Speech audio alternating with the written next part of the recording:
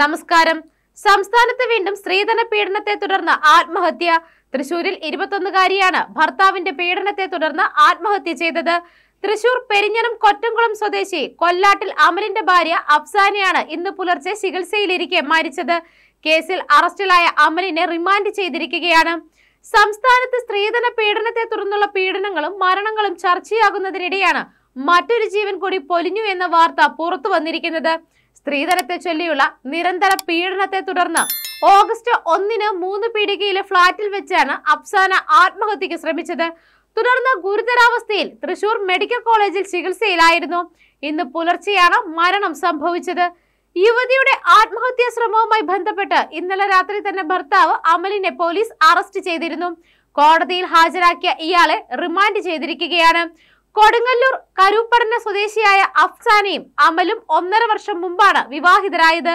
ദീർഘകാലത്തെ പ്രണയത്തിന് ശേഷമായിരുന്നു ഇരുവരുടെയും വിവാഹം എന്നാണ് റിപ്പോർട്ടുകൾ. എന്നാൽ വിവാഹത്തിന് പിന്നാലെ സ്ത്രീധനം ആവശ്യപ്പെട്ട് അമൽ അഫ്സാനയെ നിരന്തരം മാനസികമായും ശാരീരികമായും പീഡിപ്പിച്ചിരുന്നുവെന്ന് പോലീസ് പറയുന്നു.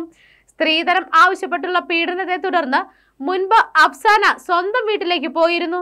എന്നാൽ വീട്ടുകാരും ബന്ധുക്കളും ഇടപെട്ട് പ്രശ്നങ്ങൾ ഒത്തുതീർപ്പ് ആക്കുകയായിരുന്നു. തിരിച്ചു വന്നതിന് ശേഷവും പീഡനം തുടർന്നതോടെയാണ് യുവതി ആത്മഹത്യ ചെയ്തത്. അമലിനെതിരെ ഗാർഹിക പീഡനം സ്ത്രീധന പീഡനം എന്നീ കുറ്റങ്ങളാണ് നിലവിൽ ചുമത്തിയിരിക്കുന്നത്. കരൂപ്പടപ്പ് സ്വദേശി കളാമ്പുരയ്ക്കൽ റഹീമിന്റെ മകളാണ് മരിച്ച അഫ്സാന. മൊബൈൽ ഷോപ്പ് ജീവനക്കാരനാണ് ഭർത്താവ് അമൽ. സംസ്ഥാനത്ത് സ്ത്രീധന പീഡന മരണങ്ങൾ ആവർത്തിക്കുന്നുണ്ടെന്നാണ് രണ്ടായിരത്തി ഇരുപത്തിരണ്ട് മെയ് മാസത്തിൽ പുറത്തുവന്ന ക്രൈം റെക്കോർഡ് ബ്യൂറോയുടെ കണക്കുകൾ വ്യക്തമാക്കുന്നത്. ഈ വർഷം മെയ് മാസം വരെ മാത്രം മൂന്ന് സ്ത്രീധന പീഡന മരണങ്ങൾ റിപ്പോർട്ട് ചെയ്തിരുന്നു.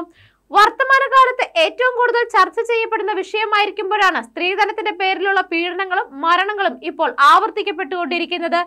രണ്ടായിരത്തി ഇരുപത്തി മാത്രം പത്ത് സ്ത്രീധന പീഡന മരണങ്ങൾ സംസ്ഥാനത്ത് റിപ്പോർട്ട് ചെയ്തിരുന്നു.